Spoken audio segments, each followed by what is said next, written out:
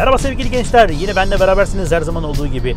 Trafikteyiz ve nereye gittiğimiz belli değil her zaman olduğu gibi. Ve Alicia Bridges bizlerle birlikte I love the nightlife diyecek bizlere. Oh yes gece hayatını sevdiğinden bahsediyor. Hep beraber izliyoruz.